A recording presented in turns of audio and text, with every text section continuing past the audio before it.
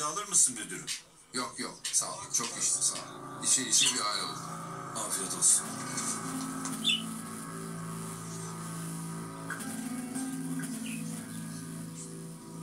Alo. Benim ben. Cevat lan işte. He içerideki şükür anladın. Boş ver orasını bulduk bir şekilde. Ne yapıyorsun? İyi misin? Abinler nasıl? Beni sormuyor mu hayırsızlar? İyi hadi selam söyle. Cevat abiniz çıkınca kafanızı kıracakmış de. Unutmayın oğlum abinizi. Ona göre. Hadi.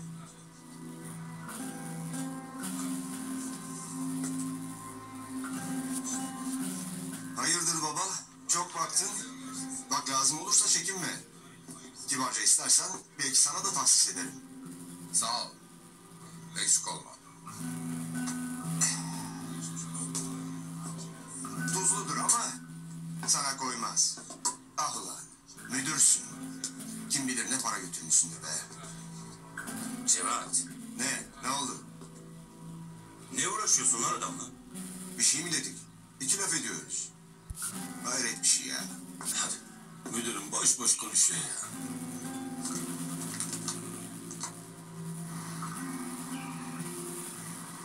Yasemin'le ne zamandır çalışıyordunuz? 6 ay falan oldu ajans alalı. Nasıl biriydi sizce? Öyle sorunlu bir tipe benzemiyordu aslında. Süha sence? Yani bence de. Sakin, kendi halinde biriydi. Hani bir yıldız olacak potansiyele sahip değilse de işimizi görüyordu yine de. İşinizi mi görüyordu? Bu tabir yakıştı mı şimdi? Vefat etmiş birinden bahsediyoruz. Yani lafın gelişi komiserim. Yasemin arkadaşımızdı sonuçta. Yani bizim de üzüntümüz büyük. Peki arasının kötü olduğu, ona zarar vermek isteyecek biri geliyor mu aklınıza? Benim bildiğim bir şey yok. Sizin mankenlerden biri kıskançlık nedeniyle böyle bir şey yapmış olamaz mı? Sanmam. Zehirdi bilmem neydi akıl edemez ki onlar. Yani Bakın bu ajans sahipleri Ayşem ve Süha bunlar iyi insanlar değil. Madem bu kadar kötüler, niye onlarla çalışıyorsun? Anlatacağım. Benim aslında manken olmak gibi bir amacım hiç olmadı. Gerçek adım Melda değil zaten. Kız kardeşim Selen. Yaklaşık bir yıl önce kayboldu. Bakın fotoğrafı. Nerede aradıysak bulamadık. Selen de aynı ajansa kayıtlıydı. Bunu onların yaptığını düşünüyorum. İş sürmek için birkaç ay önce kaydoldum ajansa. Ajans dediğime bakmayın. Ajans sadece bir vitrin. Bir nevi et galerisi. Bizde sergiledikleri mallar. Kime sergiliyorlar? Paralı kodamanlara. Yani sizi pazarlıyorlar öyle mi? Benim başıma gelmedi. Ama kızların bir kısmı pazarlanıyor. Maalesef doğru. Orası ajans falan değil. Bildiğiniz randevu evi.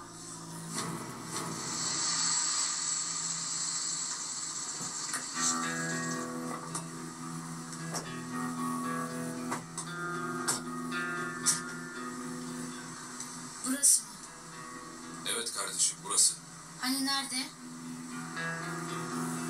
Hele dur sabret. E hadi nerede baba? Babamı bulduk dediniz. Göstersenize. Oğlum bir sakin ol. Geldik işte. Hadi hadi gel bu taraftan. Gel.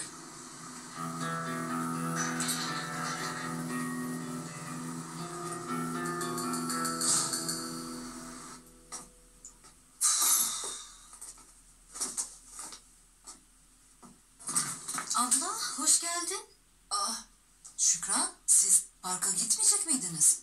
Ben gidemedim abla. Ee Umut nerede? O parka gitti. O ne demek Şükran öyle sen dalga mı geçiyorsun kızım ya? Çocuk kendi başına gitmedi herhalde. Yok abla babasıyla gitti. Babasıyla mı?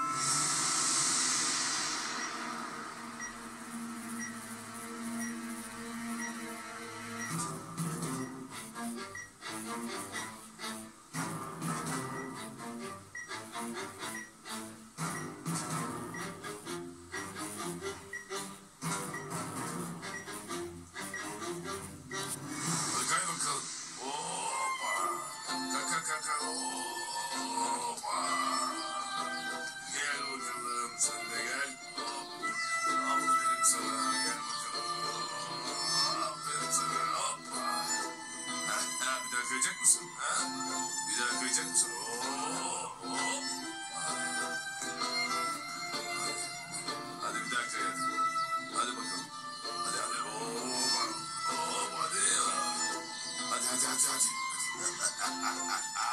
Hoppa.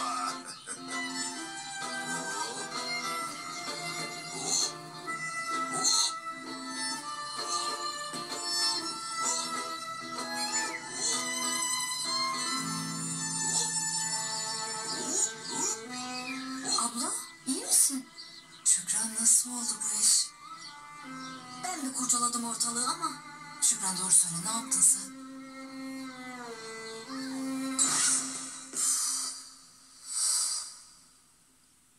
Alo Tunç.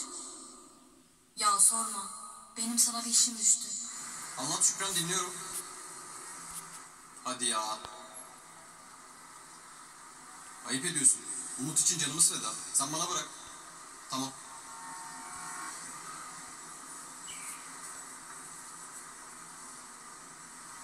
Alo baba ne haber? Ya eve gelmeden önce bir parka uğrasana. Niye? Ha, hadi ya. Ha, tamam iyi peki hadi. Yani benimle de pek ilgisi yok. Onlar dünden razıymış zaten. Öyle mi dersin? Tabii abla. Baba oğul ne çabuk alıştılar birbirlerine baksana.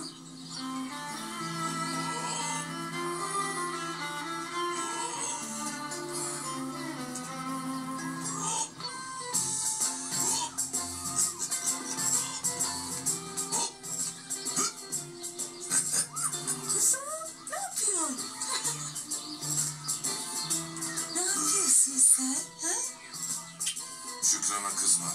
O tavatsızı ilk defa bir işe yaradı. Keşke ben akıl etseydim.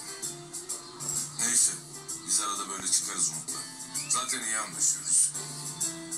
Ben bu kadarını beklemiyordum. Neyi bekledin? Yani bu kadar iyi anlaşacağınız. Aşk olsun be. Cidden aşk olsun. Ne zannettin ki sen beni ya? Bir çocuğun elinden tutamayacak kadar korkak mıyım ben? Canım öyle demek istemedim ben. Yani ne bileyim çocuk demek sorumluluk demek. Çekinirsin diye düşündüm. Yanlış düşünmüşsün. Bak bu son sözü daha da konuşmam. Bu oğlanın bir babası olacaksa o da benim. Ben Mesut Güner'i. Başkası değil. Tamam mı? Tamam.